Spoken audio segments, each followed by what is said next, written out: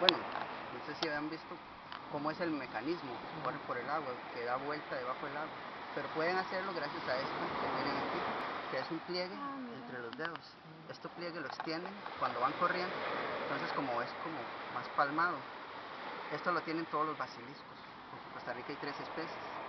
Eso es lo que le permite como tener más área de contacto con el agua para así poder desplazarse.